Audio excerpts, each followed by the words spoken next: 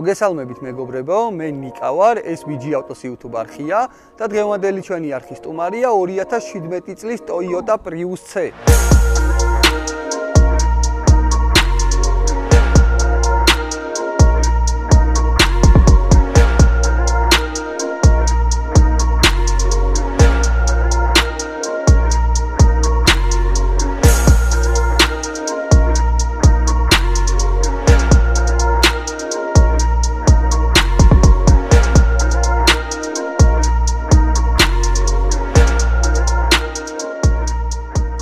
პირველ რიგში მეგობრებო, სანამ განხილვას დავიწყებთ ჩვენი ავტომობილის, აუცილებლად დაალაიქეთ ეს ვიდეო, გააქტიურეთ ძალისღილაკი და გამოიწერეთ არხი, რათა არ გამოტოვოთ ჩვენი შემდეგი საინტერესო ვიდეოები და კიდევ ერთხელ გავიმეორებ, რომ 4 შაბათობით დაგვემატა უკვე ახალი კონტენტი.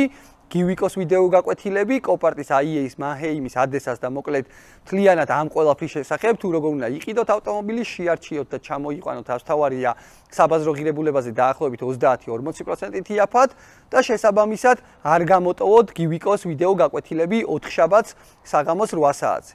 რაც შეეხება ავტომობილს, ძალიან კარგად გამოიყურება, თეთრი ფერია და უხდება ჩვენ ავტომობილს და მეც გადავწყვიტე რომ თეთრებში ყოფილიყავი, ორი თეთრი ლამაზმანი გახლავთ დღევანდელ ვიდეოში.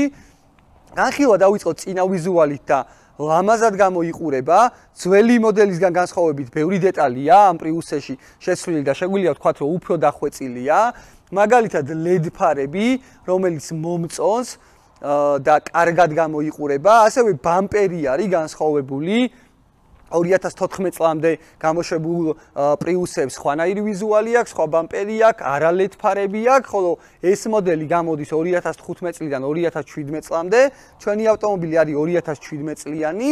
ლამაზი სანისლე ფარები, პატარა ცხაურა, საიდანაც გრილდება 1.5 ლიტრის მოსულობის ჰიბრიდული ძრავი და შემიძლია ვთქვა, რომ 2015 წლიდან გამოსული პრიუსე უფრო დახვეწილია, უფრო ლამაზია, ძალიან ბევრი კარგი ფუნქცია და ოფცია აქვს დამატებული და საბოლოო ჯამში ეს ავტომობილი რისთვისაც არის შექმნილი, შემიძლია პირდაპირ თქვა, რომ თავის ფუნქცია მოვალეობას 100%-ით ასრულებს. ეს ავტომობილი შევიძინეთ კოპარტის ავტო აუქციონზე, დაზიანება ქონდა წინა მარჯვენა მხარეს, დაზიანებული ქონდა კაპოტი, ბამპერი, ფარი და კრილო და მოვიგეთ 2300 დოლარად, რაც ძალიან კარგი ფასია დამეთანხმებით და მინდა აგიხსნა თუ რატო შევძელით ამ ფასად ამ ავტომობილის შეძენა. პირველი ის, რომ არ იქოქებოდა და გარბენი არ ჩანდა და გასაღები ქონდა დაკარგული. აქედან გამომდინარე, კოპარტმა ვერ მოახერხა, რომ ავტომობილი დაიქოქა და დაეწერა run and drive-ი და ასევე მიეთითებინა გარბენი.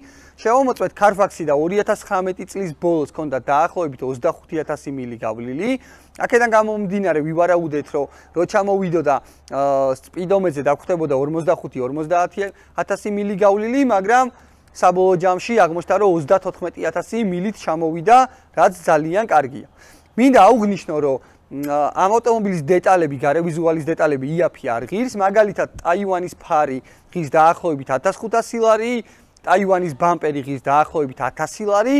ეს ავტომობილი არის ორიგინალებზე აწყობილი, ორიგინალ დეტალებზე და უკეთესად გამოიყურება, იმიტომ რომ ყველა ზაზორი ზის და უფრო ლამაზია, მაგრამ ტაივანებზეც შეგიძლიათ თავისუფლად დააწყოთ, იმიტომ რომ თუ ვთქვათ ფარიღის დაახლოებით 1500 ლარი ტაივანი ორიგინალი შეგვიძლია ვთქვათ 900 1000 ლარით უფრო ძვირიღის.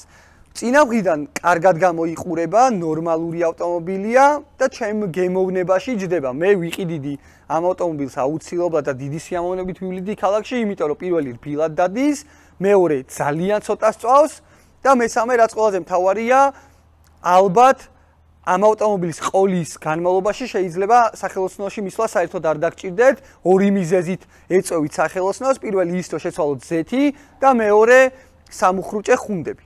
რაც შეეხება გვერდითა ვიზუალს აქაც განსხვავებულად გამოიყურება წინა პრიუსესგან პატარა ზომის საბურავები რომელზეც კომფორტულად და რბილად დადის. ასევე მინდა აუგნიშნო აი ეს პავაროტნიკები, ეგრეთ წოდებული, დამატებული სარკეებზე, რომელიც ყველას არა აქვს. ეს შავი დეტალები, რაც მიყვება ავტომობილს, მაგალითად აი ეს ქვედა დამატება კარნიზზე, ეგრეთ წოდებულ კარნიზზე, ეს ქარხნულია, ანუ აფთერმარკეტ ნაწილი არ არის და ასეთივე დანამატი უნდა კონდეს წესით წინ, უბრალოდ საქართველოსში ვერ ვიშოვეთ ესეთი ბამპერი და შესაბამისად ამიტომ არა აქვს ამ ბამპერს დამატებული წინ ეს შავი დეტალი, თორე საბოლოო ჯამში 100%-ით ქარხნული ვიზუალი როა ვიღოთ ამ ავტომობილის, წინა მხარეს გვერდით და უკანა აქ ეს შავი დეტალები დამატებული, რაც უფრო დახვეწილს ხდის ავტომობილს. რაც შეეხება უკანა მხარეს, ფარები აქვს რესტაილინგ მოდელს, ანუ 2015 წლიდან მოდელს განსხვავებული, პატარა ლამაზი შავი სპოილერი, ეს შავი უკანა დამატება ბამპერზე და დამეთანხმებით რომ ეს ფერთა კონტრასტი, ანუ თეთრი შავში ლამაზად გამოიყურება და საბოლოო ჯამში მე პირადად პლუსეს ვიზუალი მომწონს. ნორმალურია. მოდით ახლა მეგობრებო, ნახოთ თუ რამ ხელ ადგილი აქვს საბარგულში. პატარა ზომის საბარგულია, ერთ ნახევარი ჩანთან, მაქსიმუმ ორი ჩაგეტევა. მაგრამ ვერც მოთხოვთ ძალიან დიდი ზომის საბარგულს, იმიტომ რომ გამეთანხმებით რომ ავტომობილიც თვითონ პატარაა და აქედან გამომდინარე მის რაღაცა გაბარიტებთან შედარებით ნორმალური ზომის საბარგულია. ასევე მაინტერესებს უკანა სივრცე სალონში. და სპეციალურად მაქვს სავარძელი ისე დატოვებული, როგორც ვიჯექი.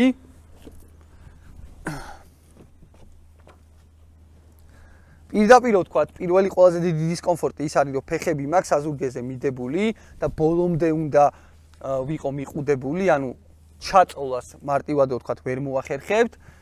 თავიც ანუ ზევით პატარა სივრცე მაქვს და მაწუხებს და ეს გვერდითა სტოიკა ეგრეთ წოდებული პირდაპირ სახესთან მაქვს, რაც დისკომფორტია. ხელის დასადები უკანაც არა გვაქვს, ხელი დავასვენოთ. და საბოლოო ჯამში შემიძლია თქვა, რომ უკანა მხარეს დიდი ადგილი არ არის. ძველ პრიუსებში უფრო დიდი ადგილი იყო შედარებით უკანა მხარეს, ვიდრე ახალში, მაგრამ საბოლოო ჯამში მაინც ნორმალური ავტომობილია. რაც შეეხება ინტერიერს, მეგობრებო, მოდით ხარისხზე ნუ დავიწყებთ საუბარს, იმიტომ რომ პრიუსია და შესაბამისად ეს ავტომობილი არის იმისთვის შექმნილი, რომ რაც შეიძლება ეკონომიურად გადავაადგილდეთ და ნაკლებად მოგვიწიოს პროფილაქტიკებში სიარული, რასაც თავიდან ბოლომდე ამართლებს. ეხლა არის 5 საათი და ახლოებით უკვე იწყება თბილისში აქტიური მოძრაობა.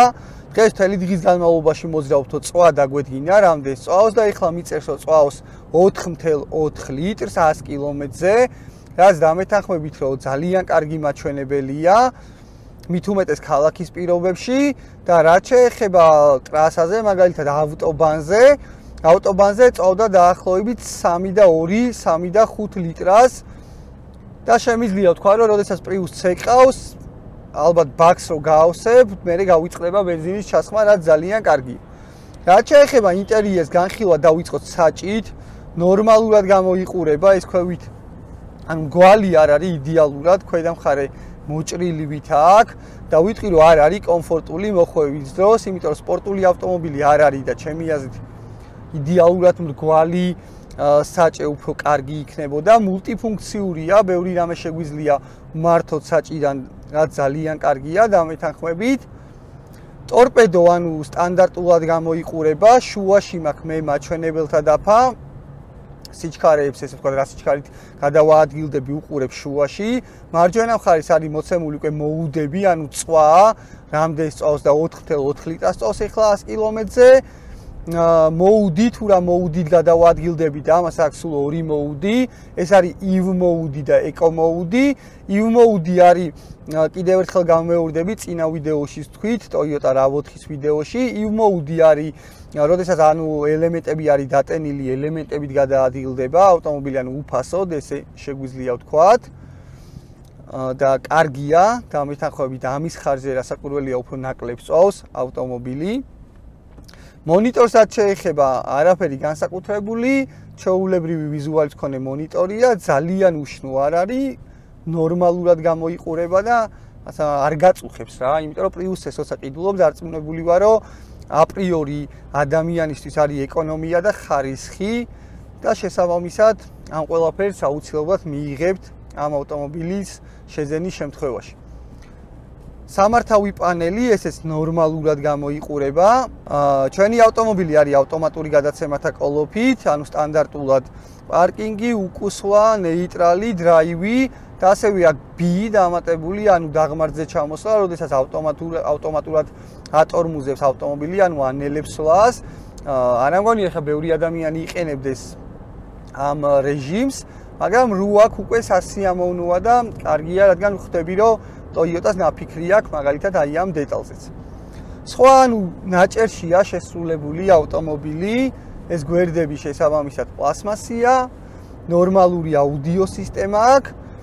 რაც შემიძლია თქვა, რომ ტევადი არ არის, ანუ წინ კი ნორმალურად ძივარ, კარგი ხედვის კუთხე მაქვს, თავი ანუ ზევი ჭერზე არ მაქვს მიდებული და მე და ჩემი ოპერატორი გივიკო ძალიან კომფორტულად გზნობთ წინ თავს, მაგრამ უკან როგორც კი გადადიხარ, უკვე ხვდები რომ პატარა სივრცეა და შესაბამისად ცოტა უფრო დიდი რო იყოს, კარგი იქნება, იმიტომ რომ მაინც საოჯახო ავტომობილია და მეთანხმებით. ასევე მეგობრებო, აუცილებლად უყურეთ ოთხშაბათობით გივიკოს ვიდეოებს, ვიდეო გაკვეთილებს. ძალიან საინტერესო პროექტი დავიწყეთ ახალი და ამ ვიდეოშიც კიდევ ერთხელ განმეორდები. 4 შაბათობით იქნება 8 საათზე და შესაბამისად არ გამოგჩეთ, რადგან უკვე ძალიან დიდ ცოდნას მიიღებთ უშუალოდ როგორ უნდა იყიდოთ ავტომობილი, როგორ შეარჩიოთ, როგორ დაბიდოთ, როგორ მოიგოთ იაფად, რას მიაქციოთ ყურადღება და ასე შემდეგ. აა სხვა არ ვიცი მეტი რა შეიძლება ვილაპარაკოთ, გაჩერებულები რო ვიყავით უკანა სივრცე გაჩვენეთ და შესაბამისად პატარა სივრცეა, იმიტომ რომ მუხლები მიდებული მქონდა საზურგეზე. და ორი სიტყვით რო აუხსნათ, ნორმალური ვიზუალის მქონე, ეკონომიური, ძალიან ეკონომიური, ალბათ ამ სიტყვის თქმის უფლებას მაძლევს ამ ავტომობილის წვა და ძალიან გამძლე ავტომობილია და ამ ავტომობილის ყიდვა ჩამოყვანა და იდეალურ მდგომარეობამდე მიყვანა დაჯდა 6800 დოლარი 2017 წლიანი გახლავთ ჩვენი პრიუსზე და დამეთანხმებით რომ ძალიან კარგი ფასია. ასევე აქვს ხაზი სენსორები, დაჯახების საწინააღმდეგო სენსორი და ესეც კარგი ფუნქცია უსაფრთხოებისთვის. დიდი მადლობა მინდა გადაუხადო ყველა იმ ადამიანს, ვინც უყურა ამ ვიდეოს. აუცილებლად გამოიწერეთ ჩვენი არხი, დაალაიქეთ ვიდეო და გააქტიურეთ ზარის ღილაკი, რათა არ გამოგჩეთ ძალიან საინტერესო ვიდეოები, როგორც ჩემი პარასკევობით, ასევე ოთხშაბათს გივიკოს მიერ შემოთავაზებული ძალიან საინტერესო და ინფორმაციული ვიდეოები. საბოლოო შეჯამება რო გავაკეთოთ, მეგობრებო, ჩვენი ავტომობილის ნორმალური ვიზუალის მქონე კომფორტული და კარგი ავტომობილია, წვავს ცოტას და არ ჭირდება პროფილაქტიკი და პროფილაქტიკაში სირბილი. ეს ავტომობილი შევიძინეთ 2300 დოლარად კოპარტის ავტო აუქციონზე.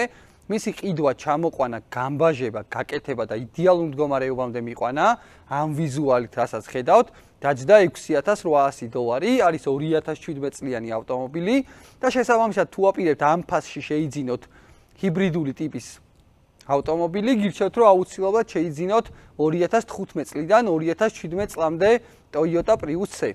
დიდი მადლობა ყურადღებისთვის, აუცილებლად გამოიწერეთ ჩვენი არხი, გააქტიურეთ ზარის ღილაკი და დაალაიქეთ ეს ვიდეო, რადგან არ გამოტოვოთ ჩვენი შემდეგი საინტერესო ვიდეოები. მომავალ შეხვედრამდე.